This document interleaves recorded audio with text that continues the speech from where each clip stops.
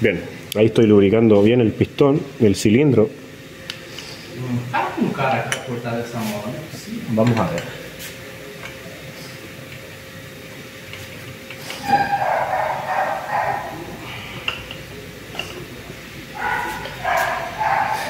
También lubricar muy bien acá el metal para que el cigüeñal no se arañe. ¿ya?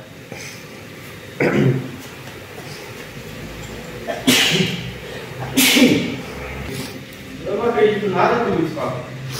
Bien, ahora solamente de, prueba voy a apretar los pernos a 4,5 kilogramos metros. Vamos a ver cómo vira el cigüeñal, si gira fácil o no. Bien, ahí está apretado. Vamos a ver cómo gira.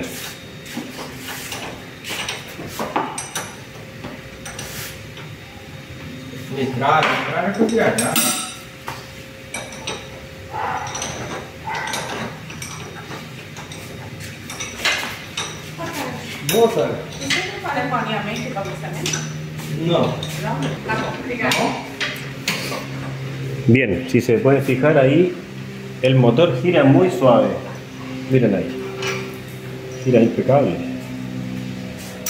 Bueno, voy a continuar poniendo los otros pistones y tiene que seguir girando suave con la mano. Si se traba con algún pistón, ahí tendríamos un problema. Bien, ahí están instalados todos los pistones sin anillos. Y quiero que se fijen cómo gira el motor. Gira muy suave con la mano.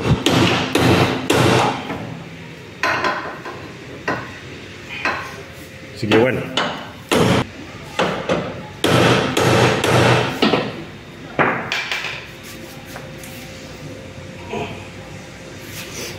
Ahora voy a retirar los pistones uno por uno y voy instalando los anillos uno por uno a la vez. Y ahí vamos a ir viendo que el motor se va poniendo más pesado ya que los anillos hacen fuerza contra el cilindro. Pero bueno, por el cuanto me gustó cómo, cómo va quedando el motor. Bien, aquí retiré el pistón número 1 y estoy comprobando la luz de los anillos. Acá tenemos el anillo número 1 o el superior y tengo que comprobar la holgura que existe entre las puntas.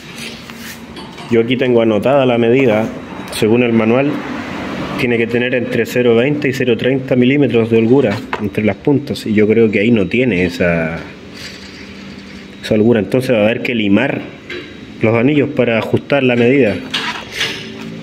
Yo siempre gusto hacer todas estas comprobaciones porque ahí nos podemos dar cuenta que el anillo no viene, según yo creo, con la medida que corresponde. Entonces hay que ajustar la medida. Si nosotros instalamos sin medir nada, se van a quiebrar los anillos, lo más probable, cuando el motor esté trabajando. También acá tengo el apriete de las bielas, 2 kilogramos metro más 60 grados, por si le sirve a alguien ese dato. Bien amigos, ahí está el blog con los pistones instalados ya. Todos tienen sus anillos y quiero mostrarles cómo gira el motor. Gira obviamente más pesado porque los anillos hacen fuerza contra el cilindro. Pero bueno, gira muy bonito y se escucha como rascan los anillos. No sé si se puede captar en el video. ¿Ven? Así que bueno. Ahora vamos a ver cómo montar la culata de este motor. Bien amigos, acá ya estoy próximo a instalar la culata, cabezote o tapa de cilindros también como le dicen al motor del Nissan.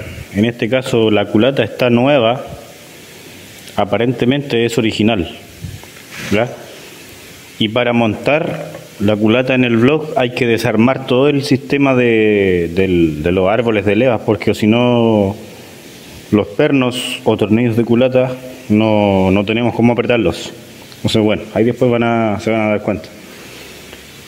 Algo muy importante antes de montar la culata aquí, bueno en este caso el motor este fue, se le hizo un plano al block, siempre que se recalienta un motor de estos al ser de aluminio, es recomendable medir el plano del block, porque como es aluminio más blando, con el calor se tuerce.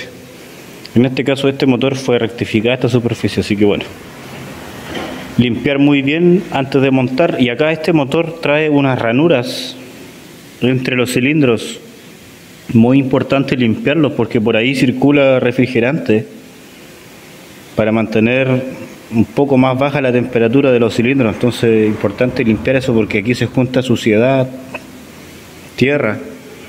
Yo en este caso la limpié con, con esta hoja de sierra calza justo así que Ahí quedó impecable. También no olvidarse de colocar las guías al blog, las guías de la culata o de la junta o empaquetadura de culata. Porque la teoría dice que cuando el motor se calienta, la junta cambia de posición. Eso dice la teoría. Y por algo de fábrica el motor trae esas guías, por algo, no están por bonitos ahí. Así que bueno, vamos a montar esa culata aquí en este motor. Bien, acá tenemos la junta o empaquetadura de culata que en este caso la que el cliente compró es marca Sabo. Ahí está. Y es de fibra o tipo amianto.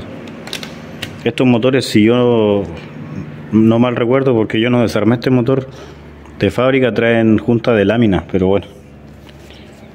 Va a haber que poner esta porque es la que compró el dueño. Eh, hay que fijarse siempre los agujeros que coincidan, todos los agujeros. Y también algo muy importante antes de montar la culata es limpiar las roscas del bloque. Ya que estos bloques como son de aluminio, las roscas son súper frágiles. Y si queda algún, algún poco de agua, aceite, suciedad y le estamos dando el torque o el apriete, se barre la rosca y ahí el motor hay que llevarlo de nuevo a la rectificadora para que le hagan un inserto. Entonces, bueno, hay que hacer todos esos procedimientos antes. Yo también otra cosa que me gusta hacer es colocar gasolina o algún combustible acá en los conductos de admisión y ver que no quede filtrando porque si no vamos a tener fugas de compresión. En este caso esta culata está bien. Así que bueno. Aquí trae el apriete para los tornillos o pernos de culata. Ahí 4 kilogramos metro, 90 grados, 90 grados y 45 grados. Qué bueno. Voy a comprarlo con los datos del manual, sí, original de Nissan para ver si es lo mismo. Ahí esto también sirve para esos motores que están ahí. En este caso, este es el motor MR20DE 2.0, 16 válvulas. También sirve para el 1.8 y el Renault M4R. Bien, ya estoy próximo a instalar la culata. Y una comprobación que siempre a mí me gusta hacer es medir, primero poner el perno al tope abajo y medir la altura hasta la cabeza. Aquí en este caso tenemos 53 milímetros prácticamente. Y ahora tenemos que venir a medir la altura de la culata y donde aprieta el perno para saber si ella va a quedar apretada o floja, ya que aquí fue rectificado el plano del block y el plano de la culata. No sabemos cuánto bajó la altura del block y puede, y puede pasar de que no apriete después. Entonces aquí, si yo me vengo aquí, sí, una, una manera aproximada, tenemos 67, entonces va a apretar. Esa es la, lo que quería comprobar. Aquí estoy comprobando la junta o empaquetadura de culata en la culata, valga la redundancia. Y aquí nos podemos dar cuenta que la culata trae esos agujeros de refrigeración y la empaquetadura no trae esos agujeros. Nosotros podríamos pensar que no corresponde, pero yo creo que sí. Acá tenemos los agujeros de agua, donde baja el, el agua ahí. Acá tenemos otro. ¿Y por qué es así? Yo creo que acá no trae esos agujeros para mantener más tiempo el agua dentro de la culata y así alcance a refrigerar. Ya que si el agua circula muy rápido, no alcanza a absorber el calor que se genera acá en la cámara de combustión y extraerlo. Eso es lo que yo pienso. Así que bueno.